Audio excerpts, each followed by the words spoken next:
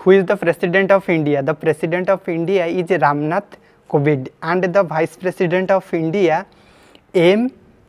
venkaya naidu